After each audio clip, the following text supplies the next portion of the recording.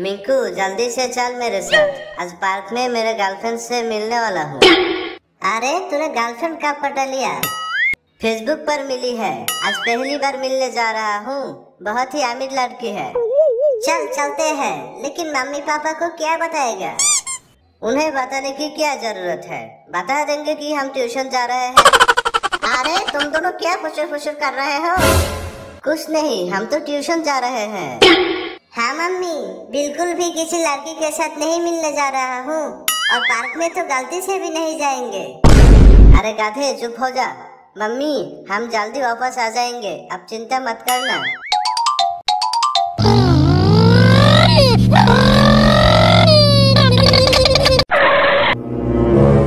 अरे भाई, तेरी अमीर लड़की कहाँ पर है?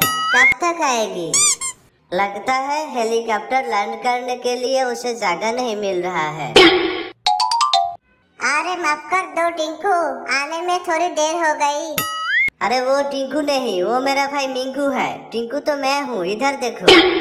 अच्छा तुम दोनों भाई हो बिल्कुल एक जैसे लगते हो। हाँ हाँ बहुत खूबसूरत है ना हम दोनों? खूबसूरत तो नहीं बताया मैंने एक जैसे भिखारी लगते हो। अच्छा मैं चलता हूँ। तू अपने गर्लफ्रेंड के साथ बात कर। तू कहाँ जा रहा है? यहाँ पर बैठ। मुझे अकेला छोड़ के मत जा। वैसे तो मैं बहुत ज़्यादा अमीर हूँ।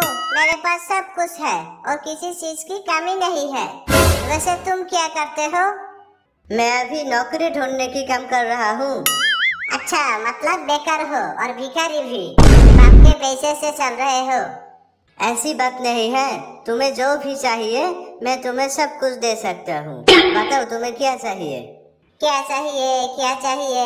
वैसे तो मेरी ज़िंदगी में किसी चीज़ की कमी नहीं है। मेरे पास हेलीकॉप्टर है दो प्लेन है ट्रेन भी है लेकिन मेरे पास स्कूटी नहीं है। एक स्कूटी खरीद कर दोगे?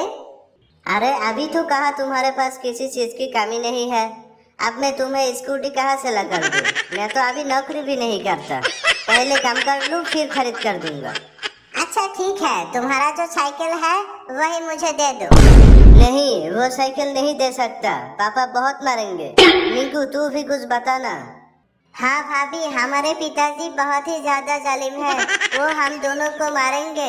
कुछ दिन पहले टिंकू को मार मार के उसकी हड्डी तोड़ दी थी। भाभी मत बोल मुझे। तुम दोनों को यह हालत है। पता नहीं कैसे गरीब आ जाते हैं मेरे जैसे अमीर लड़की के साथ डेट करने के लिए।